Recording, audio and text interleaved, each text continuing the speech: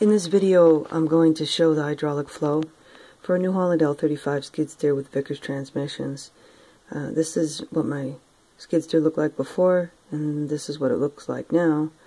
The video is going to show it in the now condition, so I just wanted to point out some things in the before, since this is probably what your skid steer looks like, and it may be more familiar looking to you. The colors that I painted mine are just my preferences. Yours are probably all yellow like this. So just to get your bearings very quickly when you remove the seat, first thing that you should see here in the center is the four-way gearbox. You can see another video I did on that. Then you have your right side transmission and your left side transmission. Each transmission has three parts. The inside parts that have pinion gears, which are run by the drive shaft from the engine to the four-way gearbox. Those sides, on each side, are the pumps. Then on each side in the middle you have the valve plates. Then on the outsides you have the motors. So each transmission has a pump, a valve plate, and a motor. In front of the four-way gear gearbox, you'll find this blue thing. That's the vane pump. Yours should be clearly labeled Vickers. Uh, back behind here, You'll see up on the top, you'll see your steering cylinders. These are sometimes called servo cylinders or steering rams. And you'll also see this component here, which is the flow divider. The flow divider is the device that divides flow between each of the steering cylinders. Your flow divider and your steering cylinders will probably be marked Cessna, even though you have Vickers transmissions and a Vickers vane pump. Don't be alarmed at that. Uh, as far as I know, that's the typical condition. The last part to have an three parts to have an idea about are the control valve, which is this part here, the front manifold, which is this part here, and the rear manifold, which is this part here. To ascertain that you have Vickers transmissions, if your setup looks exactly like this, you probably have Vickers transmissions. The Cessna transmissions have the steering cylinders in a slightly different configuration and location, but to be sure, use your camera and record reaching back here in this position in about this area and on your transmission you should see an impression on the housing that looks like this. As you can see it, says Vickers. Yours is probably going to be covered with dirt and concrete like mine was but it's worth uh, verifying to be sure. So this should give you an idea of the general setup. The rest of the video will help you with the hydraulic flow and the purge procedure. Good luck on your repair. So to review again the flow of hydraulic fluid in this system, I'm going to point things out. The reason I'm going to do this is in case you find yourself having to replace some component. If you know how the flow works, then you can see where you can catch your contaminants, especially if you're downstream of the filter. The large yellow thing here. That's this. That's the hydraulic tank. The hydraulic tank has one line leaving and one line returning. This is the line leaving. Get the camera down there. There we go. That is the suction line. The suction line back here, I can't get my hand in there, but behind that suction line uh, fitting inside the tank there's a 100 mesh filter. Fluid from the reservoir therefore is only screened by that 100 mesh filter. It enters this suction line. That suction line is a low pressure line with just those hose clamps. The fluid flows through the suction line which is only about a 14, 15 inches long into these 290s these yellow pieces. There's a 90 in the transverse direction and, and a 90 longitudinally. It runs into this. This is the vane pump. From the vane pump, there's three different outlets. One is this outlet, which charges the control valve. Two is this outlet, this lower port, which charges, that's that one there, which charges the flow divider. This is the other end of that hose right here. You the flow divider. And the last one is this one on the top here, which goes down and is a drain. That line ends up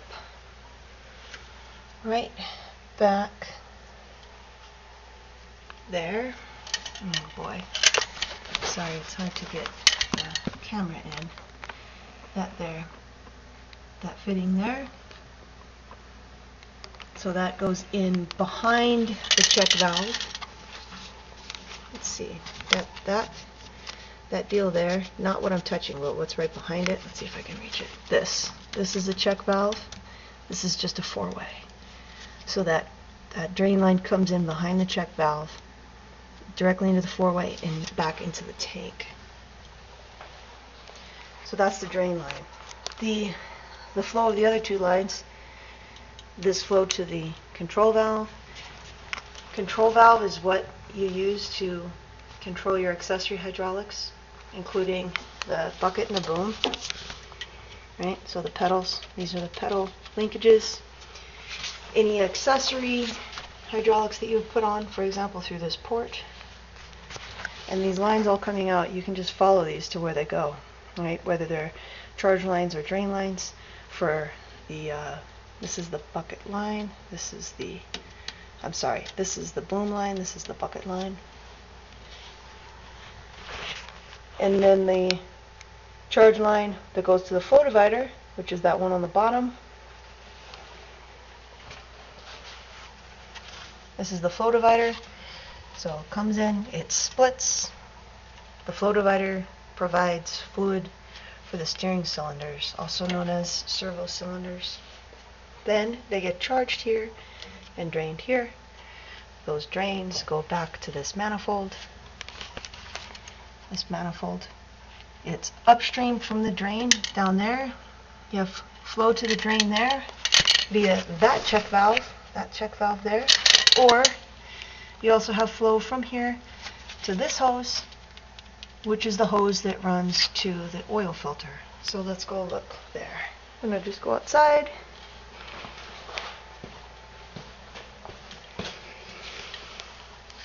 There's that hose.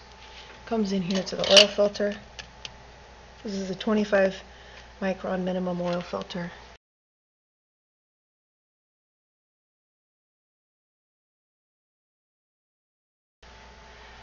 Oil comes out of the oil filter. So now we're downstream of the uh, most serious oil filter on here. There's really, there's only two. One's just a screen, the other is the actual filter. So this is where we've gotten downstream of the filter. I mention this because this is where, if you're replacing any components back here, this hose, anything in the cooler or the cooler itself, and the charge line on the opposite side of the cooler um, any contamination in here that you don't clean will remain in the system at least until that fluid has the chance to flow back through here. The problem is that fluid will end up in the transmissions before it has a chance to flow back through the filter. So fluid flows down this line into the cooler. There's a connection for the cooler.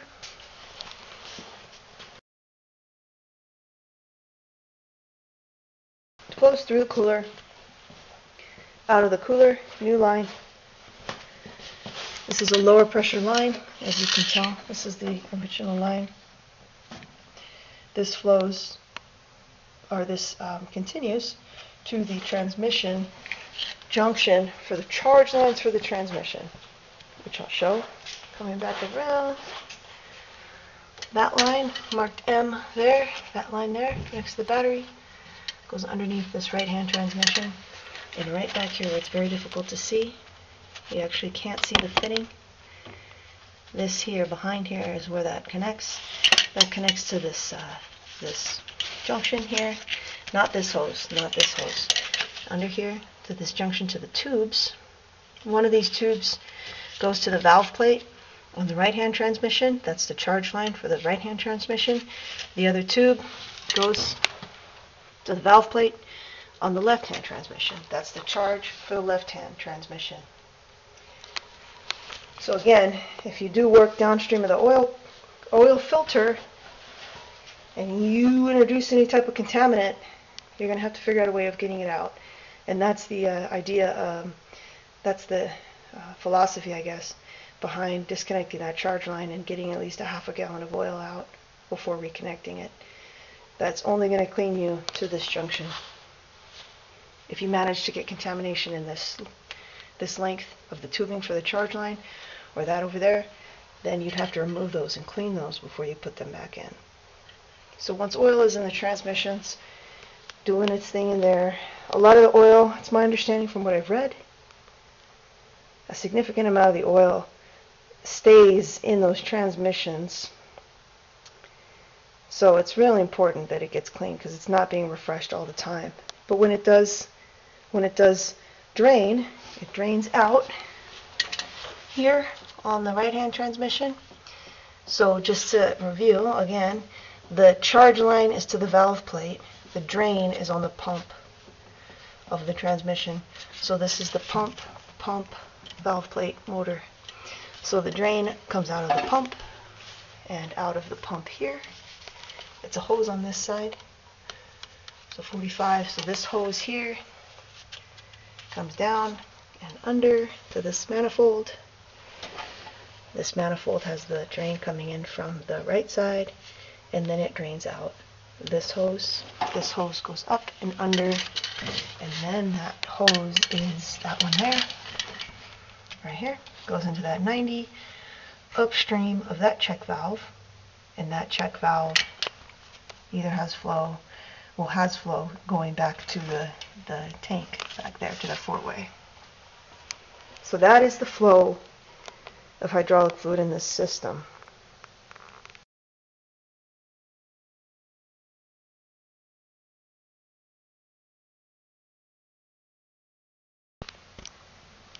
After starting up, when you've done some hydraulic work, whether it's replacing lines or working on the transmission or the vane pump or what have you, um, there's a procedure outlined in the manual that's different for the Vickers as it is for the Cessna,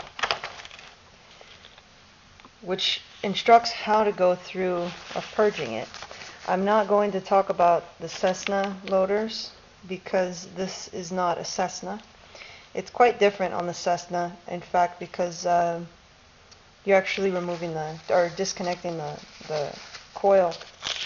But on the, on the Vickers, you're just starting it up as usual in a certain condition. And what that condition is, is with a couple particular ports open so that you can remove contaminants. The two ports that you're going to have open are firstly this port here on the control valve on this on this connection coming out of the control valve. That is the port on the bottom of this hose which goes from the control valve back to that rear manifold and then eventually back into the um, either the four-way uh, four-way down there on the bottom or that manifold splits and heads to the oil cooler so you, you loosen this, and then you put a bag, something around it.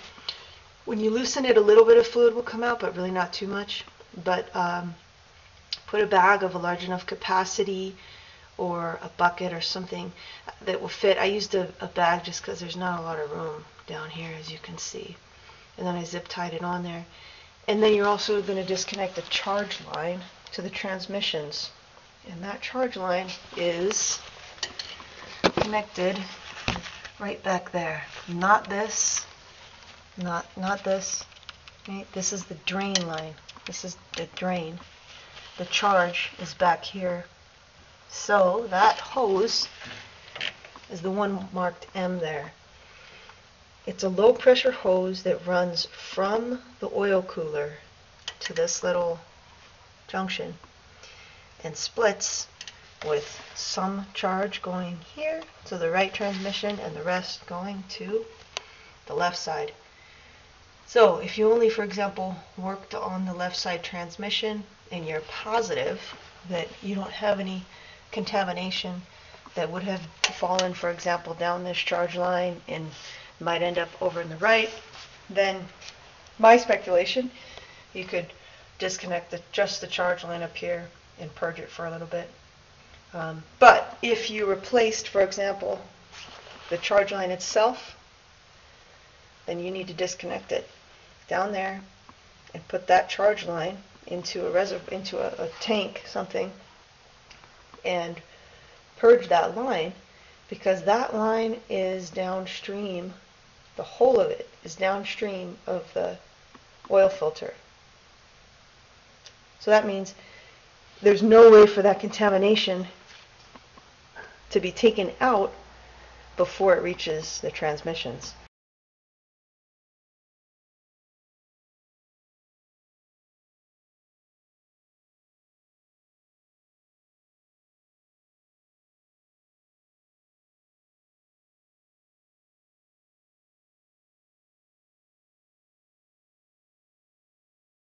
That line's got to be very clean. That's the reason I haven't replaced it, in fact, because I did buy that line from Surplus Center, um, but I decided not to replace it at this time because while I'm very pleased overall with the Surplus Center hoses, um, you do have to clean them. You have to clean hoses anyway, but I'm it's such a long hose that I don't have the I don't have the tools for cleaning it in a way it being downstream of a 25 micron filter, yeah, I'm not confident that I can get it that clean. So what I'm going to do, so this is this hose here, right? Which goes to the outlet on the oil cooler. So what I'm going to do is I'm going to take the hose that I got from from Surplus Center and I'm going to take it to a hydraulic shop and ask them to clean it and pay the money for that. Um, if they say no, then I'll have to figure out figure it out for, for now. This hose is, although it's got some damage on the outside, it's not leaking, and it is a low pressure hose. I'm going to replace it with a standard hydraulic line, but it's a low pressure hose. So that's the deal. If you do decide to replace this line, or if you have to do any work in the in the cooler, or any or this or this line for that matter, the downstream line that connects the oil filter to the cooler. And you would definitely want to be purging that stuff. I didn't have to replace this line. Somebody somewhere along the way did. Looks pretty good. So I did have to move this oil filter back a little bit. So I added these brackets here.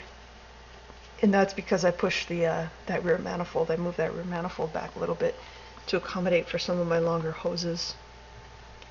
So just bear that in mind just keep an, keep an understanding of where you might have introduced contaminants and uh, what, whether or not they're on the uh, downstream side of the filters